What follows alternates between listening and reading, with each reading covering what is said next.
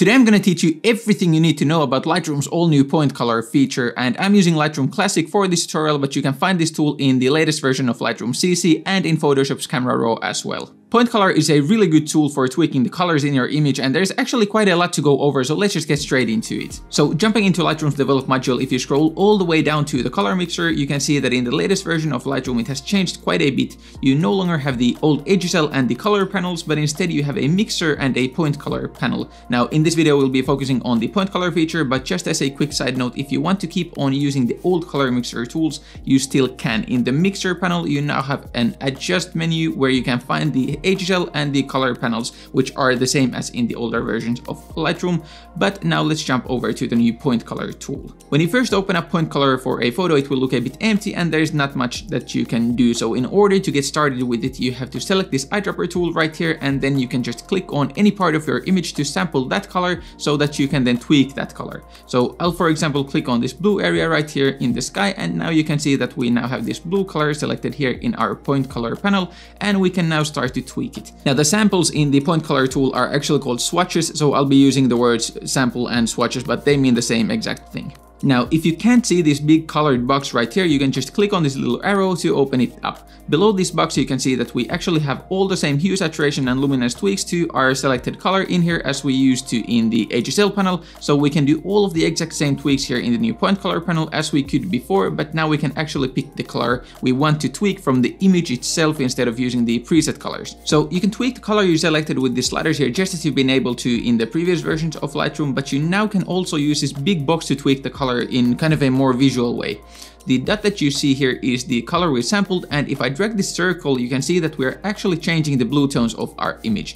Going to the left or to the right will tweak the hue of the selected color and you can also see the hue slider moving as I move the circle in the box and going up and down will tweak the saturation of the color. If you hold down Alt on Windows or Option on a Mac the movements will be a bit slower so you can do more precise tweaks if you need to. If you hold down Command on a Mac or Control on Windows, you'll be locked to only horizontal movements or changing the hue of the color. If you hold down Shift, you'll be locked to vertical movements or only tweaking the saturation. Now, to change the luminance of the selected color, you can use the second box on the right hand side of the panel. Here, once again, if you hold down Alt or Option, you can move the circle slower. To reset any of the changes you've made, just double click on the value that you want to reset. Now below these two boxes is a third box which shows you the before and after of the color tweaks you've done. So on the left you have the color you originally sampled and on the right you have the color after the tweaks you've made.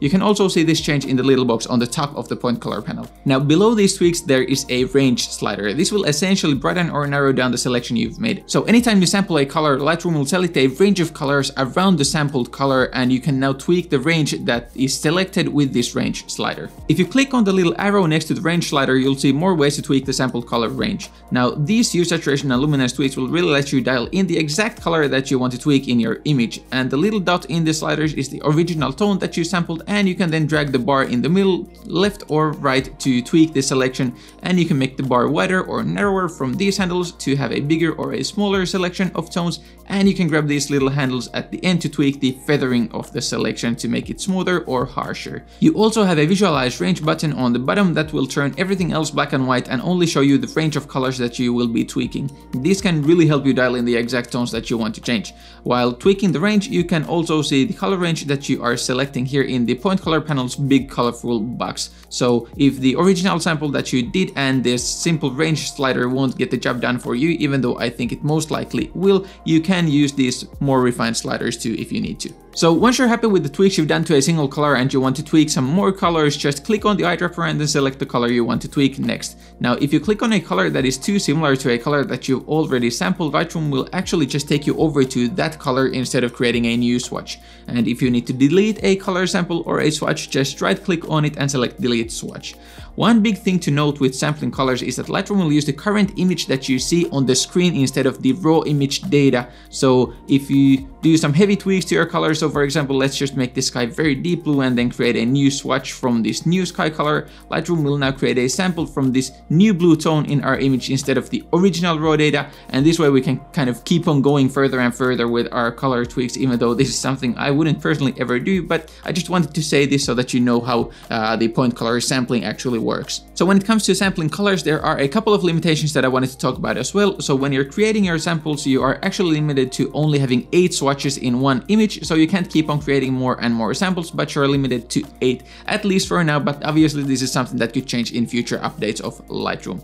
Now you also cannot sample areas that are too bright, too dark, or just lack color. So what about the good old HSL panel and how do these two work together? Now the HSL panel is still working in the exact same way as it did before and it actually works kind of higher in hierarchy compared to the point color so it always comes before the point color tweaks. So for example if I make the building a bit more red in the old HSL panel and then create a sample with point color and let's just make the building orange here in the point color tool now and then we go back to HSL and actually change the color of the building to be yellow with the HSL panel we can no longer use our sample in the point color tool because the area that we sampled is red or pink, but there's actually no red or pink in the image now after we changed the hue of the red tones in the HSL panel. So the old HSL panel always comes before the new point color tool, so I'd actually recommend only sticking to one of these two tools or then creating all of your color tweaks in the HSL panel and once you're really happy with them, you can go over to the point color tool to even further tweak the colors if you need to. But the fact that the point color tool actually uses what you are currently seeing on the image instead of using the raw data of the file makes me have very mixed feelings about the new tool and I don't really even know if I'm gonna be using this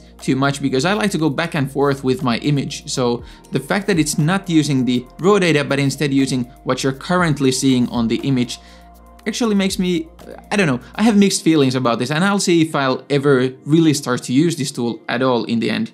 But I guess the future will tell. But that is it, that is all I have about the all new point color feature in Lightroom and I really think it's a cool feature but I don't know if it's gonna find a place in my workflow because I've grown to love the HSL panel and I don't know if I'm gonna ever start to use the point color at all because I'll just love the HSL panel. But if you have any questions about the point color, just drop a comment down below and I'll do my best to help you out. But that is it. That is all I have for today. So thank you very much for watching and I hope I will see you in the next one.